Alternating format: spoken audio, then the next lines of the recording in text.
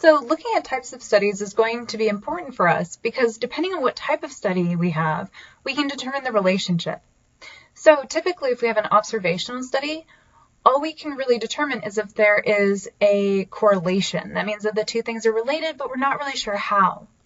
In a controlled study, it's a lot more likely that we can see a cause and effect.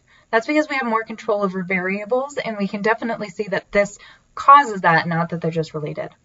So remember, if two things are related, but maybe one doesn't cause the other, there might be a lurking or a confounding variable. So for the first one, a doctor wishes to know the long-term effects of Bayer aspirin has, heart, has on heart attack survivors. She reviews her files and records the health records of previous patients who took Bayer aspirin and compares them to those who did not. So we want to know, is this a control or an observational study? So let's think of this, and by thinking of it, this is going to be the explain part. Did the doctor ask her patients to do anything? No, in fact, what she did is that she reviewed those files. So in reviewing, she is observing previous data.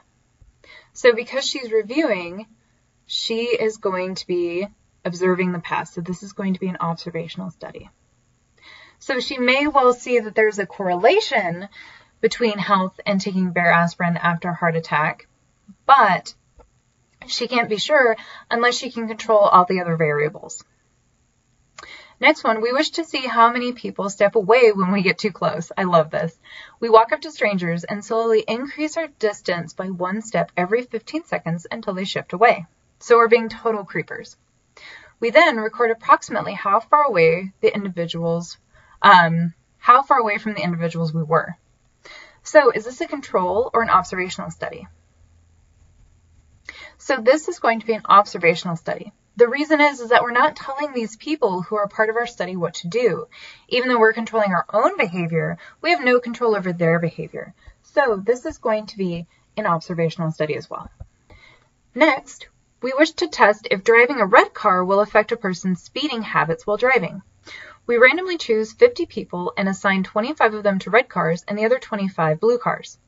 The vehicles are identical makes and models and only differ in color. We track their driving habits using a device that plugs in under the steering wheel.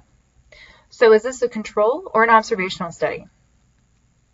This is going to be a control study. The key words that we see that tells us it's a control study or an experiment is another word for it, is one, we randomly chose people. So randomness implies that it's going to be control study, but not always. Okay, the other thing is that we assigned people to groups. So we assigned people to red cars, and we assigned people to blue cars. So because this is random, and then we're also doing assignments, this is going to be a control study. There's going to be different things that make a control study really good. So for example, if I tell people that I want to see if they speed or not, that's going to influence them. Really what I want to know is does the pure color of the car influence them? So maybe I don't tell them what the study is about. That would be called blinding.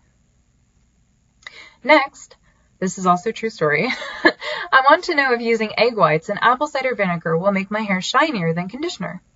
After a week, I noticed that my hair is indeed shinier and smells like salad dressing. Is this a controlled or an observational study? Explain. Well, here's the deal, is that this is actually neither. What this is, is this is called anecdotal. So what anecdotal is, is it's one person's experience and their interpretation of that experience. Now, if you gather enough anecdotes, then what you might have is an observational study. But in this case, it would be neither.